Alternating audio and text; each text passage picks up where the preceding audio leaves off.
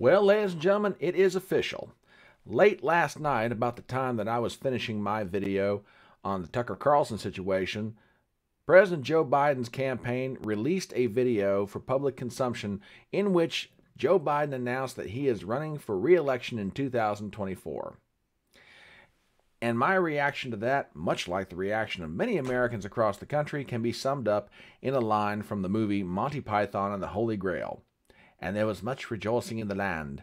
Hooray!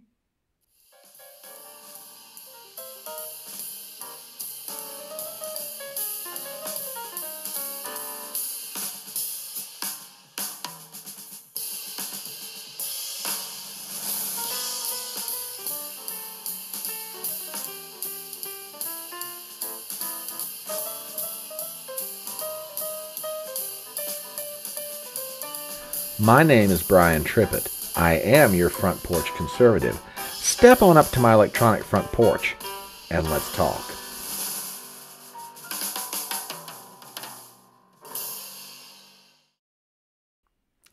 So, as I said a moment ago, the Joe Biden campaign late last night, very early this morning, depending on how you look at it, released a video announcing to everyone in the country that the current incumbent in the White House is going to seek reelection. Now, what I want to do is play you some clips from that video and make a few observations because there are some very telling things in this three minute video that I think people need to consider. So, we're going to start with the first one. And I want you to take a listen to this. This starts at about eight seconds in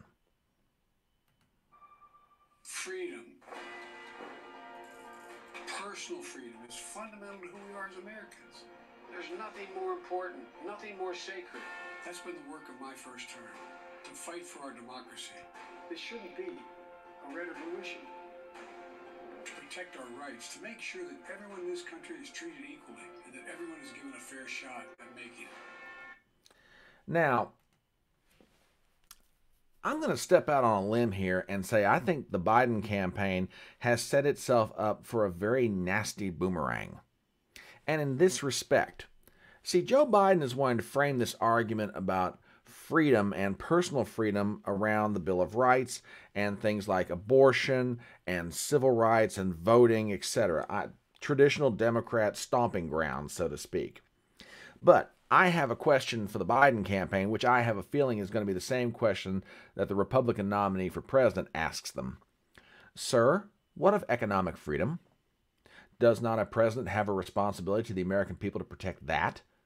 What have you done to guarantee and ensure and enhance the economic freedom of the average American? In your administration, sir, inflation has raged almost unrepentant purchasing power has been reduced because of the inflation that you have not been able to check.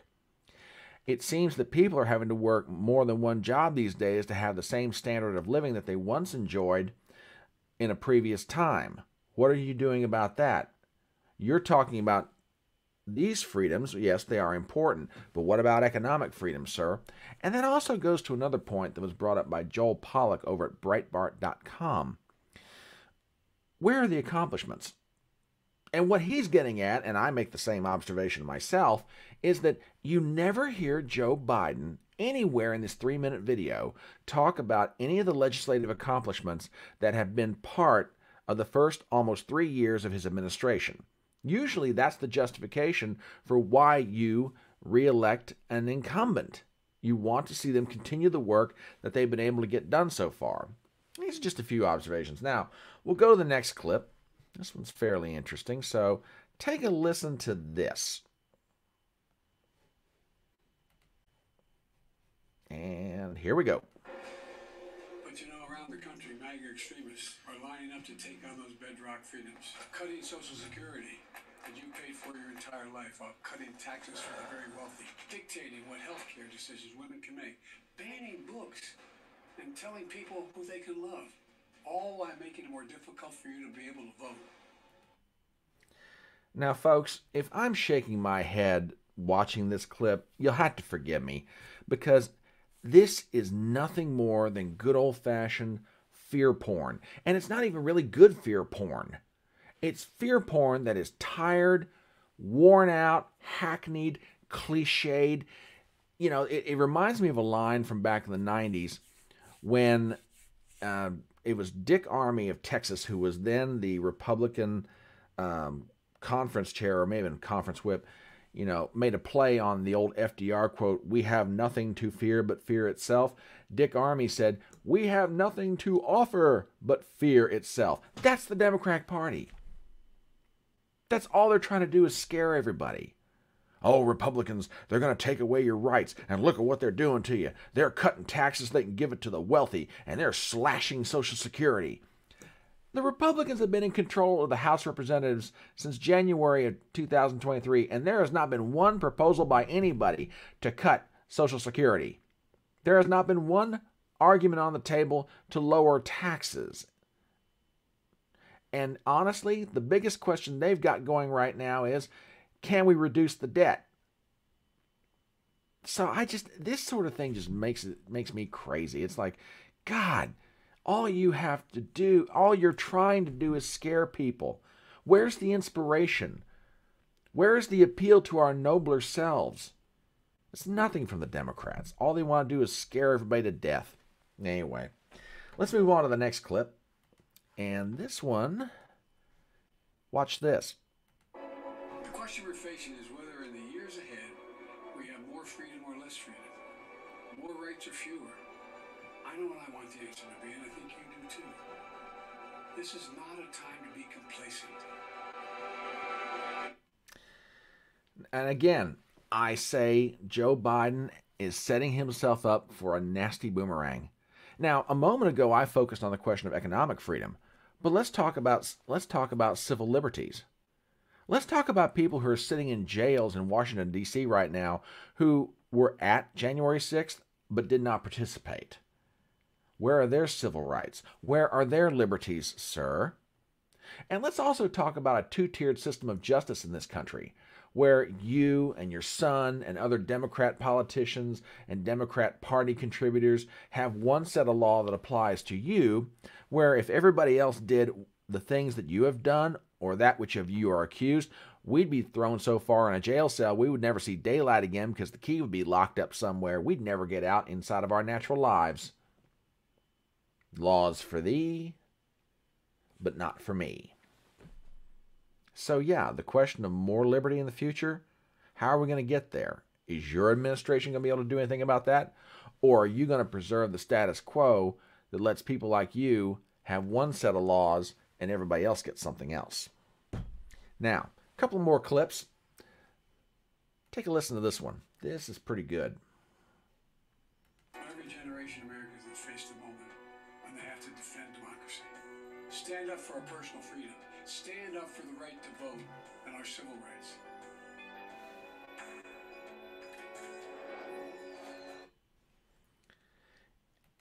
Ah, man.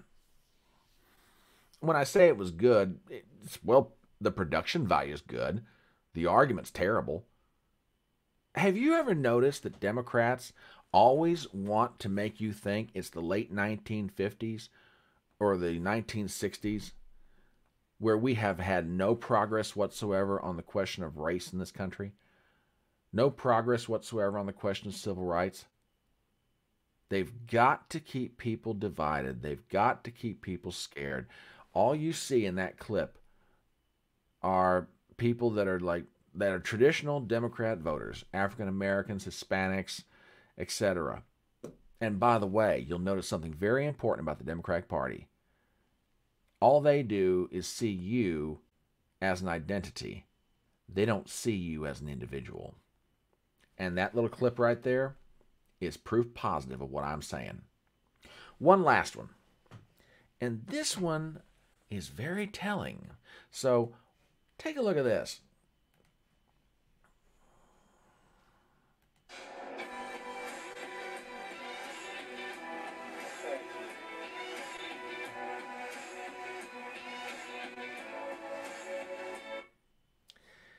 You notice something about that clip high energy music, and the first thing you see is Joe Biden sprinting right into the room.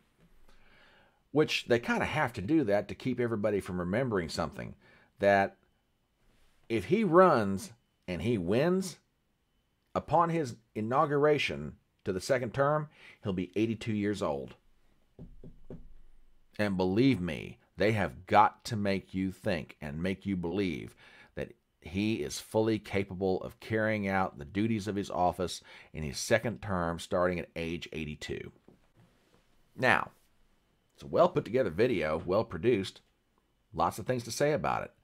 But is it really reflective of the mood of a group of people that want to see this man reelected? Is it truly reflective of the Democratic Party? Is it even truly reflective of voters in general? Hang on to all those questions, folks. I'm going to get into that in one second.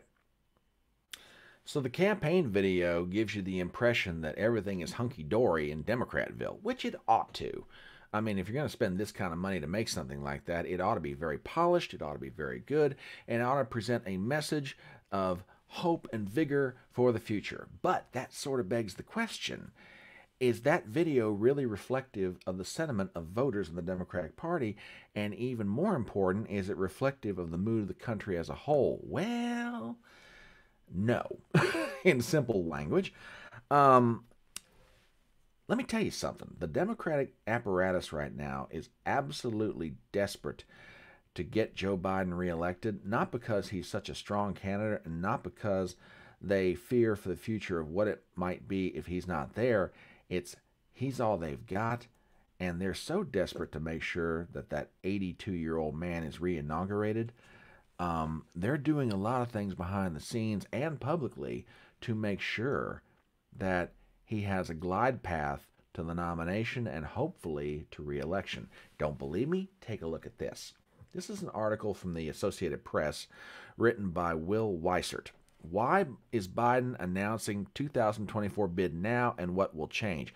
I want to get into the heart of this article because there's something very important that Weissert points out. In a paragraph or section called Will Biden have to compete for the Democratic nomination? The gentleman writes, probably not much. Self help author Marianne Williamson and anti vaccine activist Robert F. Kennedy Jr. are the only Democrats to challenge the president. Neither of them presents the type of primary opposition that wounded previous incumbents, such as Senator Ted Kennedy's campaign against President Jimmy Carter 80 or Pat Buchanan's run against President George Herbert Walker Bush in 92. Now, listen to this. The DNC is so fully committed to Biden this year that it is not planning to schedule primary debates, sparing the president from sharing a stage with Williams, Williamson, Kennedy, or any other potential challenger.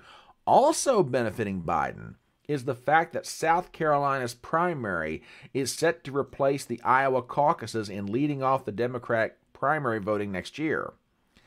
Now, I said a moment ago the Democrats are trying to protect Biden. Now, part of that you would actually expect. You expect the party of the president in the White House to do everything they can to make his bid for reelection easier. But that's what's going on now is not what you normally see. The Democrats are taking steps that are way out of the bounds of political tradition in America. Number one, they're not having debates. Okay, you can maybe argue that that's not quite so bad, but changing the primary calendar around is something that has not happened in years.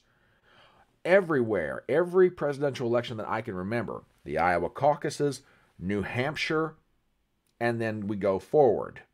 And usually, New Hampshire is the thermometer to tell you the temperature of what's going on inside an hmm. incumbent president's reelection bid. But you'll notice the Democrats have changed the calendar around. You won't have the Iowa caucuses first. You won't have the New Hampshire primary to follow. Why is that? Well, take a look at this and you might begin to understand. Half of Democrat voters in key early primary state don't want Biden to run for reelection, according to a poll. This is from Fox News Author is Paul Steinhauser. Listen to this. Half of likely Democrat voters in a crucial early state in the party's nominating calendar don't want President Biden to seek reelection next year, according to a new survey. Go a little further into this article. According to a new poll, Biden grabs only 25% among likely Democrat primary voters in New Hampshire. Now, do you understand why the Democrats have switched the calendar around? If this goes up to New Hampshire, and New Hampshire is the first actual primary state where we get votes, then Biden is headed for a massive, and I mean massive embarrassment as an incumbent. The DNC is absolutely protecting him by switching the calendar around. When only 25% of Democrats in New Hampshire want to see this man, the incumbent, reelected, that is an enormous problem. Now, there's a few other things out there by way of polling that are just as interesting. Hang on, folks, and I'm going to get to some of that here in just a second. Take a look at this. From Breitbart one third of Democrats say it is likely they will vote for a third party in 2024. Article written by Hannah Bleau. One third of Democrats say it's at least likely they will somewhat they will vote for a third party candidate in 2024. Rasmussen reports survey released Monday found. You think that's bad? It gets even worse. Watch this. Only 22% of Democrats are excited about Biden's 2024 campaign. Article written by Wendell Husebø. Uh, just 22% of Democrats are excited about Biden's launch for reelection. Only 28% say they are confident about his reelection effort. The poll has found Democrats are worried about his age. This comes from Civiqs. Poll was released earlier this week, and the hits just keep on rolling. Listen to this 67% of nations say we are on the wrong track as Joe Biden demands four more years. This one's from NBC. Biden trails generic Republican by six points ahead of expected 2024 launch and the coup de grace. Let's just assume for a moment we know who the nominee is. And let's take it one step further and say it's Donald Trump.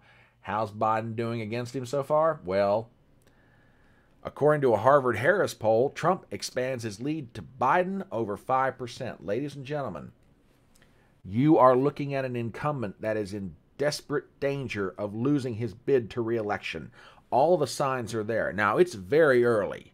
We are at least a year and a half away from the election of 2024. But if these portents remain true all the way between now and November, even with everything the Democrats could do to fortify the election, um, he's in trouble. And it wouldn't take a lot to change the results in certain states to give the electoral votes to the Republican nominee, whoever it is. I'm telling you, the Democratic Party is absolutely terrified of the prospect of Joe Biden losing this election. They are doing everything they can to protect him, and I'm not so sure this time it's going to work. But those are my thoughts on the matter. What do you think? As we start to wrap this up, please do me some favors as always. Number one, if you are not a subscriber to the channel, please do so.